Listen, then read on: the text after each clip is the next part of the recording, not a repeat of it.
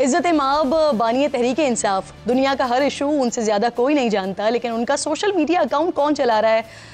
वो लाइल्म है। तहरीक इंसाफ की तमाम क़्यादत प्लेट में मौजूद सालन को देखकर बता देती है कि इसमें कितने कतरे वॉशरूम क्लीनर के हैं, लेकिन पाँच दिन गुजर गए हैं। उसके बावजूद पूरी क़्यादत को ये पता नहीं चल सका कि इमरान खान इमरान खान के एक्स अकाउंट पर पिन पोस्ट किसने की है। आइए नाजरीन, ज़रा पहले जायज़ा लेते हैं नौ मई का। आर्मी तनसीबात पर हमलों के बाद इमरान खान ने कहा, ये हमारे कारकुनान ही नहीं थे। फिर कहा शर पसंद मुजाहरीन में शामिल हो गए। उन्होंने जलाओ घिराव किया। फिर कहा, अगर मुझे पुलिस की जगह पैरा मिलिट्री फोर्स गिरेबान से पकड़कर ले जाएगी तो फिर यही तो होगा। 9 मई के दिन इमरान खान की गिरफ्तारी के बाद हम्माद अजहर ने कहा कि इमरान खान पर तशद किया जा रहा है। जरताज गुल साहिबर इमरान खान को हिरासत में कत्ल कर दिया जाएगा जाएगा। मुराद सईद ने कहा, कारकुनान इमरान खान पर तशद न होने दें और जो लोग खुद को ताकतवर समझते हैं, उनके लिए ज़मीन को जहन्नुम बना दें। फ़रुख हबीब ने कहा कि वो अपनी जान कुर्बान कर देंगे, लेकिन इमरान खान पर तशद नहीं होने दें। अली अमीन गंडापुर ने कहा, अभी या फिर कभी नहीं, अपनी जानों से खान की हिफाजत करें। अली जैदी ने कहा कि पार्टी कारकुन सिंध को बंद कर दें। अनम शेख शानदाना गुलजार, कवल शोजब, शहरियार आफरीदी ने कारकुनान से जी एच क्यू रावलपिंडी पर एहतजाज का कहा। सेनेटर एजाज चौधरी ने पार्टी कारकुनों से पूरा मुल्क बंद करने की अपील की। फैसल जावेद ने कहा कि इमरान खान पर तशद हो रहा है। फवाद चौधरी ने कहा, इमरान खान को नामालूम अफराद ने अगवा कर लिया है। यासमीन राशिद और पंजाब की क़्यादत कोर कमांडर हाउस के बाहर कारकुनान को लेकर पहुँच गई, लेकिन जब सब हो गया तो तहरीक इंसाफ की पूरी क़्यादत कहने लगी कि 9 मई की जलाओ घिराव किया वो काबिल मजम्मत है। सज़ा दें उन्हें। जिन लोगों को आपने निकलने का कहा, मुल्क बंद करने का कहा, बदला ला, बदला लेने का ऐलान किया, जान कुर्बान करने की हिदायत दी जब वो फंस गए तो क़्यादत कहती है कि इन्हें सज़ा दो जिन्होंने ये सब किया है। नौ मई तो बहुत गलत था। हमारे लोगों को गुमराह किया गया है। इस पर ही बात ख़त्म नहीं होती है। कुछ वक्त गुजर जाने के बाद तहरीक इंसाफ की क़्यादत ने जिसकी मजम्मत की जिन लोगों को सज़ा देने का मुतालबा किया, फिर उन्हें अपने बेगुनाह मासूम कारकुनान कहने लगे और 9 मई को फॉल्स फ्लैग ऑपरेशन का नाम दे दिया। असद कैसर ने कहा 9 मई को जो हुआ, वो मोहसिन नकवी और आईजी पंजाब का रचाया हुआ ड्रामा था। अब ज़रा एक्सपोस्ट का जायज़ा लेते हैं। रियासती बयानी के ख़िलाफ़ एक वीडियो अपलोड होती है। जब पूछा जाता है किसने की, कैसे हुई, क्या खान साहब की इजाज़त से हुई, जवाब सुनिए। पार्टी तर्जुमान रऊफ हसन कहते हैं, बानिए पीटीआई का अकाउंट पाकिस्तान से नहीं, बल्कि अमेरिका से ऑपरेट होता है। लेकिन जैन कुरैशी कहते हैं, बानिए पीटीआई का अकाउंट न सिर्फ़ पार्टी क़्यादत खुद चलाती है चलाती है, बल्कि हर चीज़ पोस्ट करने से पहले उसकी बानी से मंजूरी और ताइद ली जाती है। अली मोहम्मद खान और बैरिस्टर गौहर कहते हैं, इमरान खान को वीडियो का कुछ मालूम नहीं है। रऊफ हसन तो ये भी कह रहे हैं कि उन्होंने ज़ाती मसरूफियात के बाईस वीडियो अब तक देखी नहीं है, और देखने का होगा कि हटाना है ऐसे या नहीं हटाना। शहजाद अकबर कहते हैं, वीडियो हकीकत पर मबनी है, इसमें कुछ गलत नहीं है। इन बयान को लेकर कहा जा रहा है कि तहरीक इंसाफ में तकसीम है। दर हकीकत ये तकसीम नहीं है, बल्कि 9 मई की तरह ये सब मिलकर आज भी सारी आवाम को, सारे पाकिस्तान को, खैर, आगे बढ़िए। एफ़ आई ए ने सबक वजी अजम और बानिय पी टी आई की जानब से मुबैना तौर पर फ़ौज को बगावत पर उकसाने की ट्वीट की तहकीकत का आगाज़ कर दिया है। गुजशत रोज़ F I A cyber crime team Baniya P T I से तहकीकत के लिए अडियाला जेल पहुँची थी, लेकिन सबक वज़ीर अजम ने शामिल तफ्तीश होने से इनकार किया है। कह रहे हैं कि वो एफ़ आई ए के एफ़ आई ए के किसी भी सवाल का जवाब उस वक्त तक नहीं देंगे जब तक उनके वकला मौजूद नहीं हों। कहा जा रहा है कि इस मामले पर बानिया तरीके इंसाफ के खिलाफ संगीन, गद्दारी केस भी बन सकता है। सोशल मीडिया पर जारी मुहिम पर पाक फौज की जानब से भी बड़ा सख्त रद्दमल सामने आया। गुजशत रोज़ हुई फॉर्मेशन कमांडर्स कॉन्फ्रेंस के शुरा ने कहा, मुल्क में जारी डिजिटल दहशत गर्दी का मकसद इदारों और आवाम के दरमियान खलगीज डालना है। प्रोपेगंडा करने वालों की पुश्त पनाही गैर मुल्की स्पॉन्सर्ड प्रॉक्सीज से की जाती है। हुकूमत ने दो टोक इसकी मजम्मत की है। नायब वज़ीर अजम इसहाकदार कहते हैं कि जो रियासत के खिलाफ खड़ा होगा उससे मुजाकर नहीं होंगे। दूसरी तरफ़ सुन्नी इतिहाद काउंसिल की मखसूस नशस्तों के मामले पर सुप्रीम कोर्ट ने तेरह जजिस पर मुश्तमिल फुल कोर्ट तश्ल दे दिया है। चीफ जस्टिस की सरबराही में फुल कोर्ट तीन जून को समाप्त करेगा। इन तमाम अहम मामला पर बात करने के लिए मेरे इंतहाई मोजिस मेहमानों में सेनेटर नासिर भट्ट साहब, पाकिस्तान मुस्लिम लीग नून की नुमाइंदगी करते हुए साथ मौजूद हैं। सेनेटर डॉक्टर हुमायूं महमद साहब, पाकिस्तान तहरीक इंसाफ की नुमाइंदगी करते हुए स्टूडियो में मौजूद हैं और उसके साथ साथ तजिए के लिए सीनियर एनालिस्ट हैं सीनियर जर्नलिस्ट हैं, सलीम बुखारी साहब प्रोग्राम में मुझे ज्वाइन कर रहे हैं। मैं आप तीनों मेहमानों की शुक्रगुजार हूँ। महमूद साहब आपसे ज़रा बात का आगाज़ करते हैं, क्योंकि मैंने भी प्रोग्राम का आगाज़ उसी सारे टॉपिक से किया है।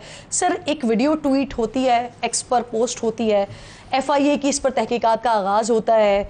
आपकी पूरी पार्टी, मैंने तमाम के स्टेटमेंट्स बताए, पूरी पार्टी वजाहत देती है। कहाँ से हुई, कैसे हुई, किसी को मालूम है, किसी को नहीं मालूम।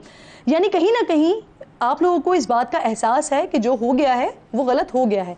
लेकिन उसके बावजूद भी, सर पाँच दिन गुजर गए हैं, वो मवाद डिलीट नहीं किया गया अभी तक सोशल मीडिया से सर बिस्मिल्लाहिर्रहमानिर्रहीम ईया का नाबुदो व ईया का नस्ताइन अच्छा let's see for a second let's see facts ठीक है? और हम बाद में वीडियो के ऊपर आते हैं। पाकिस्तान की जो रियासत है, उन्होंने एक कमीशन बनाया था, जिसको हेड करते थे एक सुप्रीम कोर्ट के चीफ जस्टिस साहब जो कि छः एक साल या पाँच या छः साल चीफ जस्टिस रहे उनका नाम है हमूद रहमान हम्म। उन्होंने एक कमीशन बिठाया था कि जो कि उस पूरे चीज़ को वो करे और उन्होंने एक रिपोर्ट पेश की थी हम्म। और उसमें उन्होंने बाज़ तजावीज़ से दी थी कि किन किन को सज़ा किन की गलतियाँ क्या क्या चीज़ है ठीक है अब अगर मैं आपको कहता हूँ आप हमूद रहमान कमीशन रिपोर्ट पढ़ें हम्म। ठीक है तो उसमें ये याद रखें जो अब अब मैं आ जाता हूँ थोड़ा सा इसको लिंक करता हूँ उस वीडियो के साथ। मैंने पहले मैं आपको पहले भी अभी बता रहा था प्रोग्राम से पहले कि मैं नॉर्मली मैं सोशल मीडिया नहीं देखता। हम्म। मैं नहीं देखता। जब इसके बारे में सारी चीज़ों ही मैं गया और मैंने ये वीडियो निकाली और मैंने पहली बार देखी कि क्या इसके अंदर क्या चीज़ है। अच्छा हम्म। उसके अंदर अगर आप देखें उसके अंदर बेसिकली एक फ़र्द वाहिद है जिसका नाम है जनरल याया। हम्म। उसकी सारे डिसीजंस को जो कि हमूद रहमान कमीशन के तहत लिखा गया है उसी चीज़ को रिप्रोड्यूस किया गया है। उसमें कोई नई चीज़ ऐड नहीं की गई। हम्म।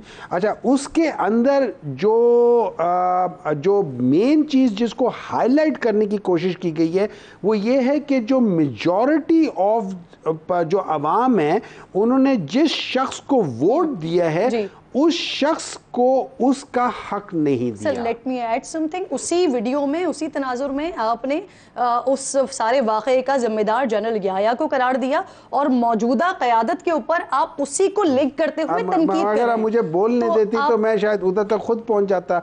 मैं तो शुरू में था ना आप तो हाँ। तो एकदम एंड पे आ गई हैं ठीक है?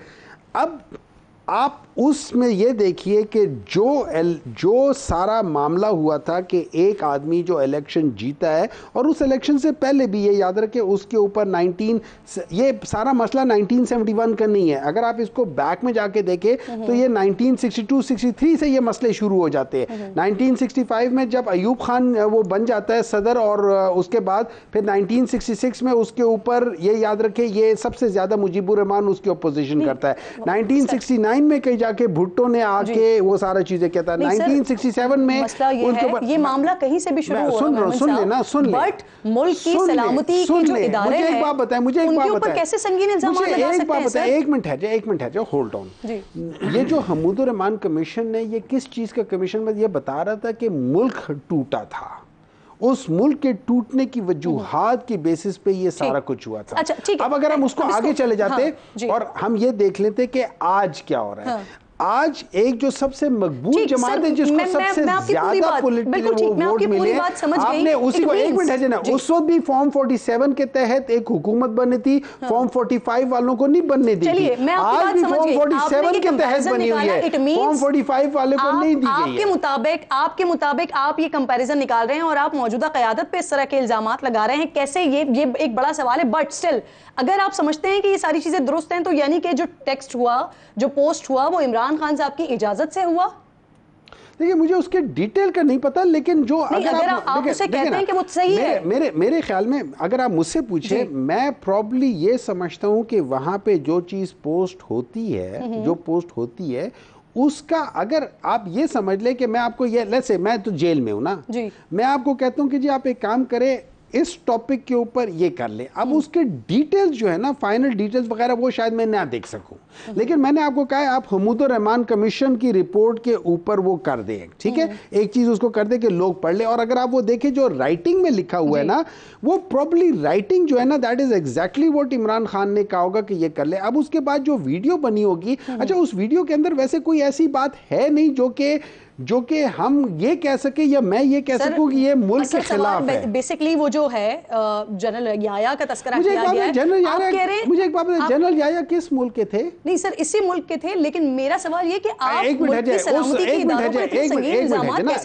ना, हैं? आपके पास सबूत हैं मुझे एक बात बताएँ मुझे एक बात बताएँ मैं उसको छोड़ दें मैं ये बात बता रहा हूँ हम ये नहीं कह रहे कि हम ये कह रहे कि आज के दिन में आज के दिन में पाकिस्तान तरीके इंसाफ को सबसे ज़्यादा वोट पड़े। पाकिस्तान तरीके इंसाफ के सबसे ज़्यादा सीटें थी। वो सीटें हमसे ली गई और एक ऐसी हुकूमत को दी गई जिनका वो नहीं है। और फैसला अदालतों में होना है। सर मौकफ आपका है फैसला तो अदालतों में तो हमारा तो मौकफ है ना। जी। मुझे एक बात बताएँ आप लोगों ने ये रिपोर्टिंग में नौ दस को ये रिपोर्ट नहीं किया आप लोगों ने? आप मुझे बात बताएँ जेयूआई इस वक्त क्या कर रही है? जेयूआई तो पाकिस्तान तरीके इंसाफ को पसंद नहीं करती। सर, मे- जेयूआई का मौकफ भी यही है। जेयूआई तो यहाँ तक कह रही है कि ये जो ये जो इलेक्शन हुआ है ये इलेक्शन नहीं था ये ऑक्शन था। ये जेयूआई कह रही है कि ऑक्शन था। ऑक्शन का मतलब ये है कि ये सीटें खरीदी गई हैं और बेची गई हैं। ये तो सर, बहुत बड़ा इल्ज़ाम है। सर वही हमने इल्ज़ाम वैसे ये भी देखा है, हमने इल्ज़ाम ये भी देखा है कि- ये वीडियो अभी तक डिलीट नहीं की गई तो इट मींस कि कहीं ना कहीं आप मुत्तफिक हैं इस बात से कि आपने जो किया है वो दुरुस्त किया इस वजह से वीडियो डिलीट नहीं की गई। इसका मुख्तसर यस या नो कीजिए मैं आगे बढ़ूँगी। अगर वीडियो डिलीट नहीं की गई तो उसका मतलब तो यही क़यादत है। मुत्तफिक है। उसका उसका उसका, है। उसका या क्यादत या जिसके रेफरेंस से हो हाँ। रही है वो प्रॉब्ली तो वो जो मैंने आगाज़ में बात की तो यानी कि सर फिर वो दुरुस्त ही है ना नहीं आपने देखा आपने जो आगाज़ में जो बात की थी ना आप किसी हद तक ठीक भी थी लेकिन किसी हद तक जो आप जिस लिहाज से लेकर चल रही थी ना उसमें जो आप रुख दिखाना चाह रही थी वो रुख गलत था। सही।